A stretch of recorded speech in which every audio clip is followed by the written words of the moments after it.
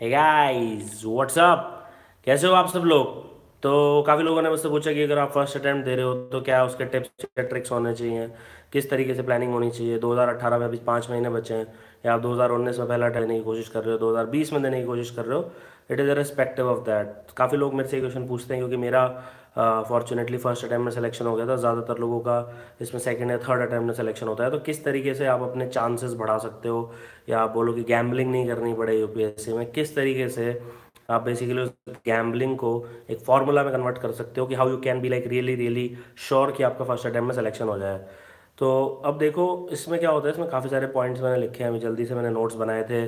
तो उस पर ही चालू करते हैं, उसी पे बात करेंगे। और काफ़ी इंपॉर्टेंट सेशन है, खास करके उनके लिए क्योंकि मान लो कि अगर एज लिमिट अभी पच्चीस, छब्बीस साल, जो भी सत्ताईस साल हो जाती है, छब्बीस साल की बात बोल रहे हैं तो उस केस में काफ़ी लोग फ़र्स्ट अटैम्प्ट ही देंगे, क्योंकि ज़्यादातर लोग तो दे ही नहीं पाएँगे कभी अटैम्प्ट डॉक्टर्स तो तेईस साल की उम्र में तो ग्रेजुएट होते हैं तो उसके बाद क्या तो अटैम्प्ट देंगे. एनी तो सबसे पहला जो इम्पोर्टेंट पॉइंट है, जो मेरे को अपने ऊपर लागू करता है, और बाकी जिसका भी फ़र्स्ट अटैम्प्ट में सिलेक्शन हुआ, मैंने काफ़ी लोगों से बात करी है. काफ़ी का मतलब है कि मैंने ऐसे चार सौ, पाँच सौ लोगों से बात करी है, पूछा कि आपके लिए क्या काम किया, जो आप चाहते हो कि मैं दूसरों को बताऊँ।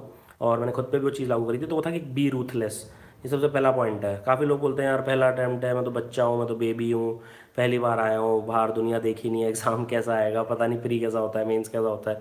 उन्हीं चीज़ों के लिए तो मॉक टेस्ट बने कि कैसा होता है, वो जानने के लिए ही तो मॉक टेस्ट बने। एट्टी नाइन्टी परसेंट साइमुलेशन किया जा सकता है। अभी मान लो आपको मार्स कनकर करने के लिए भेजो तो आप बोलो तो हमने तो मार्स देखा ही नहीं है मार्स कैसा होता है, पता नहीं मार्स पे क्या होगा। पता चला एलियंस होंगे कि नहीं होंगे और सांस कैसे लेंगे। ऑब्वियसली उसका साइमुलेशन करेंगे ना, मैं यहाँ पे बैठ के अर्थ पर पहले साइमुलेट करके जाएँगे उस रियलिटी को, और उसके बाद ही वहाँ पे आपको भेजा जाएगा। तो be ruthless on yourself ठीक है? Don't be easy on yourself कभी भी ऐसे ईजी मत रहना कि यार पहला अटैम्प्ट है, ये तो सब टाइम पास है तो नेट प्रैक्टिस चल रही है। जब मैच होगा असली सेकंड थर्ड अटैम्प्ट में तो देखेंगे। पंचवर्षीय योजना बना के मत आना। है फाइव ईयर प्लानिंग तो गवर्नमेंट ने भी बंद कर दी अब। यार इतना लंबा कौन प्लान करता है? पाँच साल बाद तो दुनिया चेंज हो जाती है। ठीक है पाँच साल पहले लोग कोई गाँव में व्हाट्सएप यूज़ नहीं करता था अब सब व्हाट्सएप यूज़ करते हैं। पाँच साल पहले लोगों के पास आ, कोई एंड्रॉयड फ़ोन नहीं होते थे इंडिया में अब everybody has an Android phone everybody तो इसका कहने का ये मतलब है पाँच साल पहले इंटरनेट की पेनिट्रेशन बहुत ही कम थी करीब पाँच दस करोड़ लोग यूज़ करते थे अभी चालीस करोड़ इंटरनेट यूज़र है इंडिया में। तो कहने का मतलब है कि पाँच साल में तो दुनिया चेंज हो जाती है तो पंचवर्षीय योजना बिल्कुल मत बनाना जब भी यूपीएससी की तैयारी करो। Be ruthless on yourself day one से बोलो कि यार, अगर जो मान लो कि किसी का लास्ट अटैम्प्ट है, वो अगर प्रिपेयर कर रहा है सोलह घंटे तो आप भी सोलह घंटे लग जाओ। वैसे तो ऑब्वियसली गलत है, मैं तो नहीं मानता स्ट्रैटेजी को but I am just talking about it कि आप दस बारह घंटे भी पढ़ाई करोगे तो काफ़ी है, ठीक है? तो मतलब टेस्ट कम मत देना, अपने आप को एक्सक्यूज़ मत देना कि मैं बाहर ज़्यादा घूम सकता हूँ मूवी ज़्यादा देख सकता हूँ, क्योंकि ये मेरा पहला अटैम्प्ट है। ये गलती कभी भी मत करना, गलती से भी कभी मत करना, ठीक है? तो दूसरा है एक्सपीरियंस मैटर करता है इस एग्ज़ाम में। मैं मना नहीं कर रहा हूँ कि अगर आपने थी, तीसरा अटैम्प्ट है आपका तो थोड़ा ज़्यादा चांस होंगे सक्सेस के। पहला है तो थोड़ा कम होंगे। But it is not a deal breaker तो अब एक्सपीरियंस नहीं है और आप काफ़ी कुछ करते हैं लोग मतलब जैसे केविन पीटरसन की डेब्यू सीरीज़ थी 2005 एशेज और उनमें उसको मैन ऑफ़ द सीरीज़ मिला था। तो कहने का मतलब है कि वो पहले बार में ही मतलब एकमात्र जैसे जीती थी इंग्लैंड ने अट्ठारह साल बाद, उसी के कारण जीती थी। सिमिलरली आपको क्रिकेट के एग्ज़ाम्पल ज़्यादा समझ में आते तो वही दे रहा हूँ। जैसे सचिन तेंदुलकर को जब वो सोलह सत्रह साल के थे तो ही क्रिकेट खिलाने लगे थे और छक्के मारते थे अब्दुल कादिर के। तो वो बोले कि यार बड़े बड़े लोग नहीं मार पाए, मैं कैसे मारूँगा? मतलब मैं तो बच्चा हूँ मतलब मैं तो अभी वोट भी नहीं डाल सकता, मैं तो शादी भी नहीं कर सकता इंडिया में। मेरे से आप यहाँ पे क्रिकेट खिलाने ले आए? वकार वसीम अकरम, अब्दुल कादिर इनके उनके घर में। ऐसा नहीं इंडिया में मैच हो रहा है। But still like he played on and on तो कई बार आपको बस एक्सपीरियंस नहीं भी है तो भी करना पड़ता है। जैसे नाइन्टी सिक्स का वर्ल्ड कप मेरे को याद है। उसमें इक्की पॉन्टिंग इक्कीस साल के थे बेबी फेस हुआ करता था उनका। और वहाँ पे लाहौर में मैच हो रहा था, गद्दाफी स्टेडियम की बात है। तो he still made like 45 44 run बनाए थे उन्होंने। वो हार गए मैच वो अलग बात है।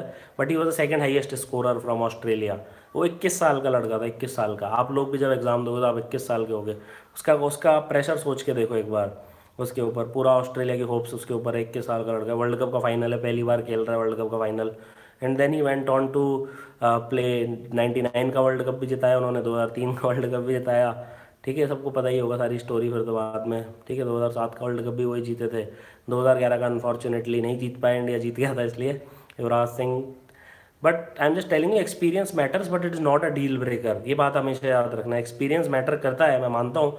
बट इस एग्ज़ाम में डील ब्रेकर नहीं है कि एक्सपीरियंस नहीं है तो आपका सिलेक्शन नहीं हो सकता। क्योंकि मैं तीसरा पॉइंट पे आ रहा हूँ। No one is asking you to conquer Mars अगर मैं आपको बोलूँ कि मार्स को कॉलोनाइज करना है, आपको इंटरस्टेलर ट्रैवल करना है तो आप बोलोगे, यार, कभी किसी ने किया ही नहीं, मैं करूँ कैसे? यहाँ पे जो तीसरा पॉइंट है there are ample examples Tina है, अर्तिका है, इस साल के बहुत सारे लोग हैं, आपको बहुत सारे मिल जाएँगे। दस परसेंट, पंद्रह परसेंट सिविल सर्वेंट हर बैच में फ़र्स्ट अटैम्प्टर होते हैं। ये Lal Bahadur Shastri National Academy of Administration का डेटा है। सेकंड में थोड़े ज़्यादा होते हैं थर्ड में ज़्यादा होते हैं फोर्थ में फिर कम होने लग जाता है। ठीक है तो फ़र्स्ट अटैम्प्ट में कम होते हैं सेकंड में थोड़े ज़्यादा थर्ड में थोड़े ज़्यादा फोर्थ में कम होते हैं। फ़र्स्ट में भी एक साइजेबल पोर्शन अगर हज़ार लोग सेलेक्ट हो रहे हैं तो सौ लोग फ़र्स्ट अटैम्प्ट में सेलेक्ट होते हैं। तो आपका भी सिलेक्शन हो सकता है। आपको थोड़ा सा और ज़्यादा अपने आप को पत्थर दिल करना पड़ेगा रूथलेस बनना पड़ेगा। तो टीना अर्तिका है, मैं हूँ जैसे बहुत सारे लोग हैं मतलब बहुत ही ईजी है। मतलब उतना हार्ड नहीं है जितना लोगों ने बना रखा हुआ है इसके अगेंस्ट।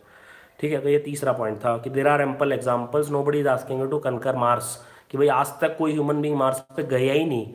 तो उसमें थोड़ी सी डिफिकल्टी होगी आई अंडरस्टैंड उसमें थोड़ी सी डिफिकल्टी होगी। बट ये ऐसी चीज़ है जो बहुत सारे ह्यूमन हर साल करते हैं, सौ लोग करते हैं।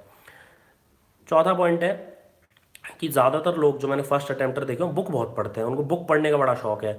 यार, ये किताब खरीद लो, वो किताब खरीद लो, Hindu summary Indian Express summary Hindustan Times summary Times of India summary, Yojana summary, Kurukshetra Chronicle ये, वो E P W L P W bold सब पढ़ लेते हैं।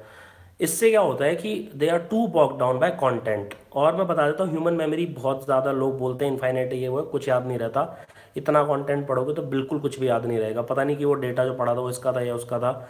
Everything will become haywire in your head तो इसका एक बहुत ही बढ़िया सॉल्यूशन है, क्योंकि फ़र्स्ट अटैम्प्ट में तय कर पाना कि कहाँ तक जाएँ, कहाँ तक रुकें, वो बहुत ही इंपॉर्टेंट है। इसलिए मैं चाहता हूँ कि आप टेस्ट ज़्यादा दो, भले ही वो ज़्यादा दो तो जिसमें इंग्लिश भाषा में उसको बोलते हैं, अंग्रेज़ी भाषा में err towards the side of test previous year question paper and syllabus rather than theory तो अगर आपको मान लो कि कहीं ज़्यादा जाना है तो ज़्यादा दो टेस्ट ज़्यादा दो प्रीवियस ईयर क्वेश्चन पेपर्स ज़्यादा दो आपके सिलेबस को ढंग से पढ़ो तो उधर ज़्यादा टाइम दो as compare to the other side ये पॉइंट समझ रहे हो अच्छे से? मान लो कि आपको पता नहीं है कि कितनी बुक्स पढ़नी है।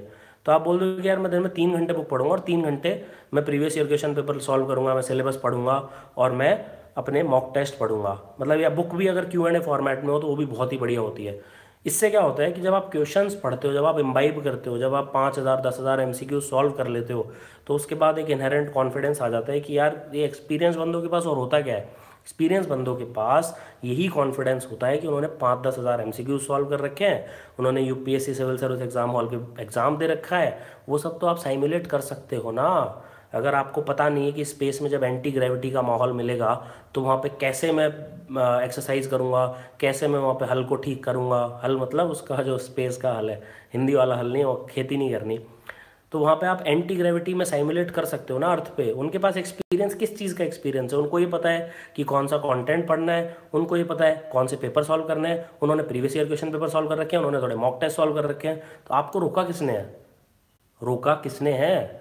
इंटरनेट पे सब कुछ अवेलेबल है। ऐसा तो नहीं है कि अब आप 1960 में ज़ीरो कि मैं तो गाँव का हूँ साहब, वो दिल्ली में रहता है, दिल्ली में जाने के पैसे नहीं है। दिल्ली में जाने को किसने बोला है? जियो या एयरटेल का इंटरनेट लो, एक जीबी पर डे उसमें सारे पीडीएफ डाउनलोड कर लो और सारे पढ़ डालो। बहुत ही सिंपल सी बात है।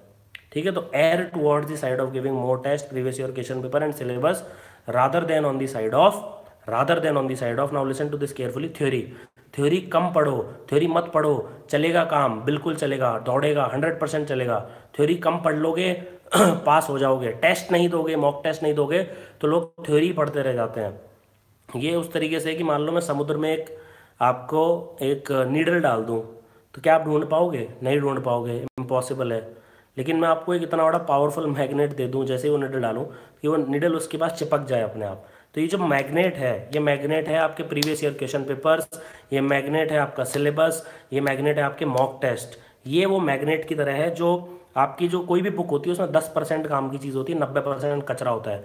बेस्ट से बेस्ट बुक उठा लो, लक्ष्मीकांत उठा लो, उसमें पचास परसेंट काम की चीज़ें होती है, पचास परसेंट नॉन सेंस चीज़ें होती हैं जो एग्जामिनर कभी बहुत रेयरली पूछेगा, पूछ तो सकता है बट कभी शायद ना भी पूछे।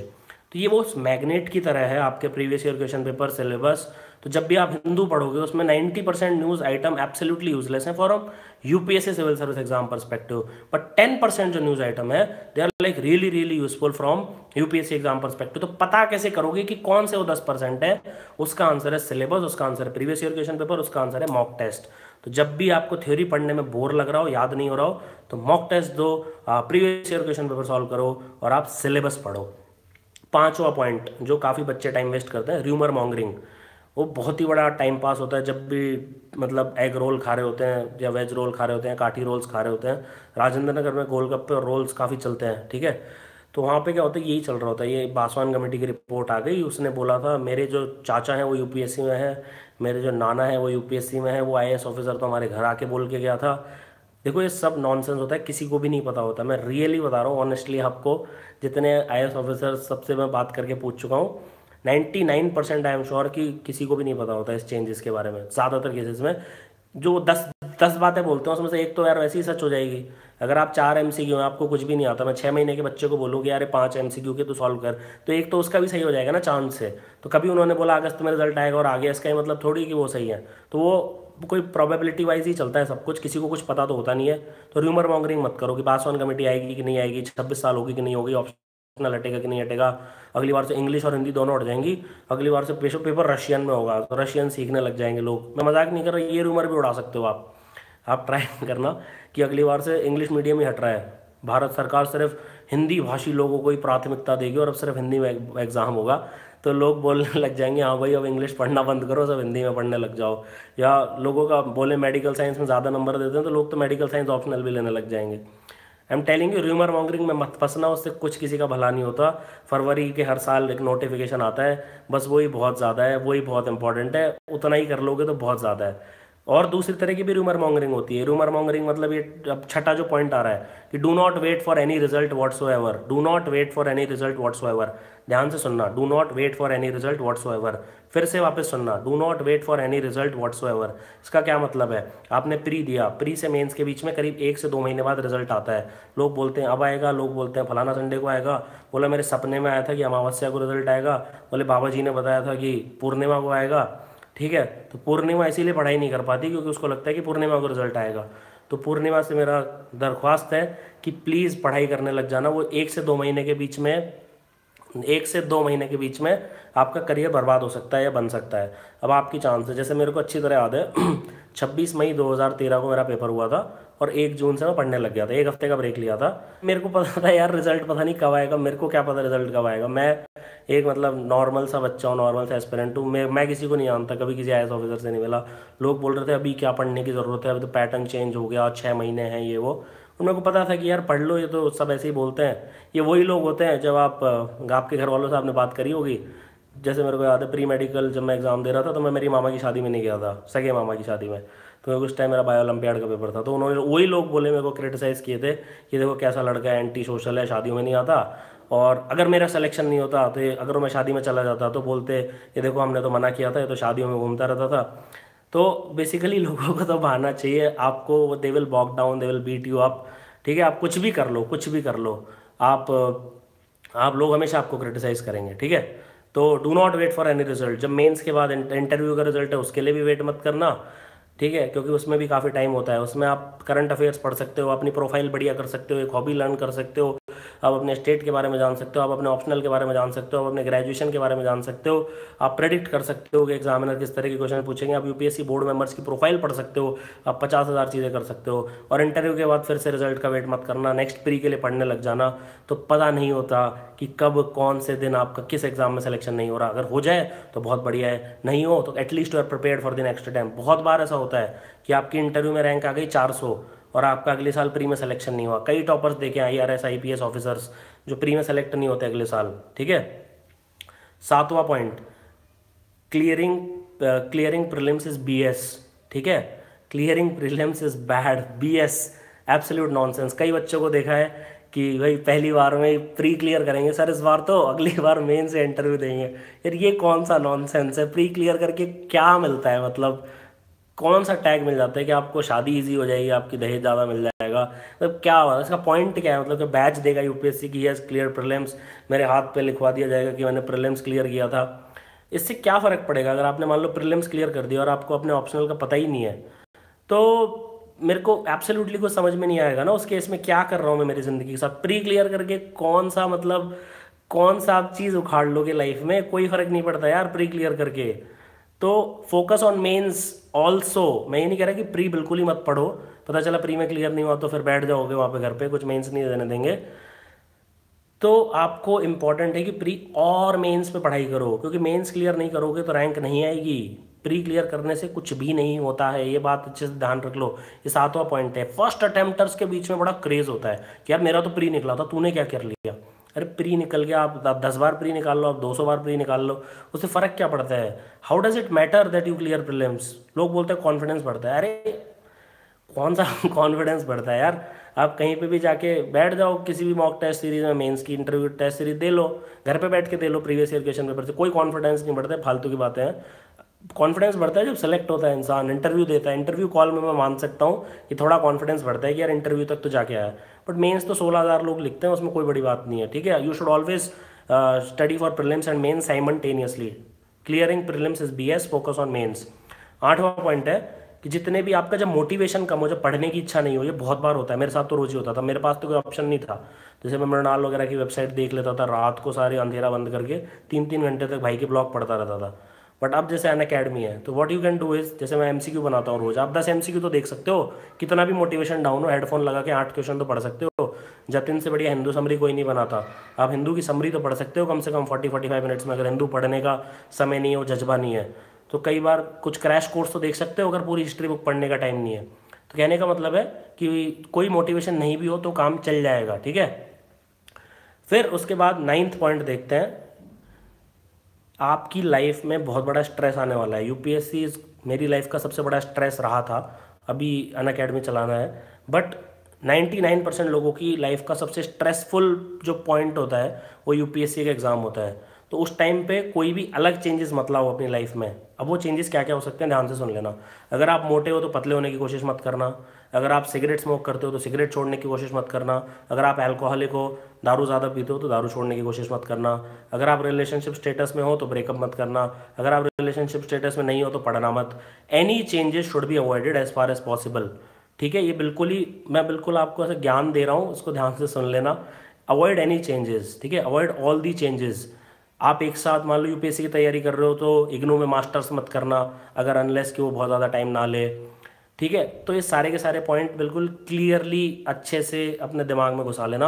Avoid any changes because it will lead to too much stress already stressful हो, लोग मैंने देखा जिम भी जाते हैं प्रोटीन शेक भी पीते हैं, नहीं फ़र्क पड़ेगा। आप या तो उस पर फोकस कर सकते हो या इस पर फोकस कर सकते हो।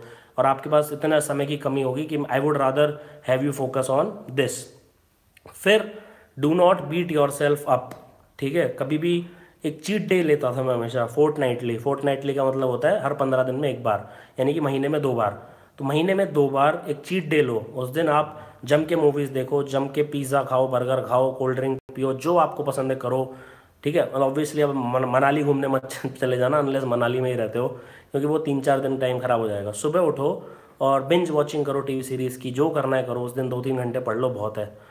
तो ये दस पॉइंट हैं। तो ये अगर किसी ने कर ली अच्छे से फॉलो तो वो फ़र्स्ट अटैम्प्ट में बहुत अच्छे चांस के साथ सेलेक्ट हो सकता है किसी भी एग्ज़ाम में। फॉरगेट अबाउट सिविल सर्विसेज़ सब एग्ज़ाम के लिए लागू है। तो मैं फिर से रिपीट करूँगा, पहला है कि बी रूथलेस अपने ऊपर आसान मत रहना कि जस्ट बिकॉज़ आपका पहला अटैम्प्ट है तो कोई फ़र्क नहीं पड़ता, बाद में कर लेंगे। दूसरा है experience matter but it is not a deal breaker जैसे मैंने आपको एग्जांपल दिया, सचिन तेंदुलकर के जब 16 साल के थे तो टूर करते थे, पाकिस्तान जैसी जगह जाके अब्दुल कादिर के छक्के मारे हुए हैं। रिकी पॉन्टिंग का एग्ज़ाम्पल दिया, जब इक्कीस साल के थे तो नाइन्टी वर्ल्ड कप का फाइनल खेल रहे थे, और मार्क टेलर ने सेवेंटी बनाए थे, उन्होंने शायद फोर्टी वन बनाए थे। So that was the second highest mark runs Australia की तरफ़ से। तीसरा है no one is asking you to conquer marks पहले ही बहुत सारे ऐसे एग्ज़ाम्पल हो चुके हैं टीना अर्तिका रोमन, बहुत सारे लोग हैं, सौ से ज़्यादा लोग मैं बता सकता हूँ अभी आपको, ठीक है? फिर err towards previous year question paper syllabus and test rather than doing your theory फिर पांचवा है नो र्यूमर मॉन्गरिंग कभी भी र्यूमर मॉन्गरिंग में मत पढ़ना अफवाहें मत फैलाना ना ही अफवाहें सुनना। अभी किसी ने लाइव मिनट का आर्टिकल डाल दिया था लोग अफरा तफरी मच गई, सब पागल हो गए। मेरे पास व्हाट्सएप आ रहा है, सर, ये वो क्या, हो गया ऑप्शनल हट गया, सर। अरे, क्या फ़र्क पड़ गया? आपने एक घंटा वेस्ट कर लिया अपना। और अगले दो घंटे तक मानसिक संतुलन रहेगा नहीं पढ़ाई का। उसे बस दिल ऊपर नीचे ऊपर नीचे होता रहेगा। क्या फ़र्क पड़ा उससे? क्या फ़र्क पड़ा? पिछले 2013 से सुन रहा हूँ यार, एज लिमिट कम होगी। 2013 से सुन रहा हूँ, ऑप्शनल हटाएँगे। कुछ नहीं हटा आज तक। 2018 आने वाला है बीस दिन में, ठीक है? छठा पॉइंट है do not wait for any result whatsoever pre दिया है तो मेंस की पढ़ाई करो मेंस दिया है तो इंटरव्यू की पढ़ाई करो इंटरव्यू दिया है तो प्री की पढ़ाई करो। बट रिज़ल्ट का वेट कभी भी मत करो। एक से दो महीने बर्बाद हो जाएँगे कैरियर बर्बाद हो जाएगा। सातवां पॉइंट है clearing prelims is B S वो बुरा है, उससे कुछ नहीं होता। फोकस ऑन मेन साइमल्टेनियसली तो हमेशा प्रिलिम्स और मेन्स की साइमल्टेनियस तैयारी करो। सातवां पॉइंट बता चुका हूँ, आठवां पॉइंट है कि जब भी मोटिवेशन कम हो तो अन अकेडमी के कोर्सेज देख लो, जैसे मेरा MCQ course crash courses Jatin के daily Hindu analysis etcetera ninth point है avoid any changes there is always too much stress बहुत सारा स्ट्रेस ऑलरेडी है। जैसे कि मैंने आपको बताया था कि अगर मोटे हो तो पतले होने की ज़्यादा कोशिश मत करो। वेट मेंटेन रखो, थोड़ी एक्सरसाइज करो। स्मोक करते हो तो स्मोकिंग छोड़ने की कोशिश मत करो। अल्कोहलिक हो तो अल्कोहल छोड़ने की कोशिश मत करो। इतनी सारी चीज़ें करोगे तो मानसिक संतुलन गड़बड़ा जाएगा, फिर एकदम से सब कुछ बर्बाद हो जाएगा। स्मोकिंग बढ़ जाएगी अल्कोहलिज्म बढ़ जाएगा और पढ़ाई भी नहीं होगी। रिलेशनशिप में हो तो तोड़ो मत और हो तो नहीं हो तो जोड़ो मत। और फिर लास्ट वाला दस पॉइंट है कि do not beat yourself up बिल्कुल पागलों की तरह भी मत पढ़ो कि भाई रोबोट नहीं है हम, हमें ना इंसान है होमो सेपियन सेपियन है हम, ठीक है? होमो रोबोट नहीं है। तो इसका मतलब है कि थोड़े चीट डेज़ रखो once in every fifteen days पंद्रह दिन में एक बार चीट डेज़ रखो। और don't beat yourself up जब बिंज वॉचिंग करनी करो पिज़्ज़ा पे बिंज वॉच बिंज ईटिंग करनी है करो, जो करना है करो उस दिन। दो घंटे पढ़ लेना, दस घंटे पढ़ने की ज़रूरत नहीं है। तो वरना पागल हो जाओगे। तो आई होप कि ये जो टिप्स मैंने आपको दी थी, इससे आपके फ़र्स्ट अटैम्प में सिलेक्शन की प्रोबेबिलिटी बढ़ेगी। बहुत सारे लोगों का मेरे पास मैसेज आता है कि, सर, आपके कारण अन अकेडमी के कारण हमारा सिलेक्शन हो गया। तो काफ़ी अच्छा लगता है। तो होपफुली अभी जो भी मेरे को लाखों लोग सुनेंगे तो उसमें उनको हेल्प मिलेगी। ठीक है? तो do subscribe to Unacademy ताकि जब भी लाइव सेशन हो तो you will get the notification and thank you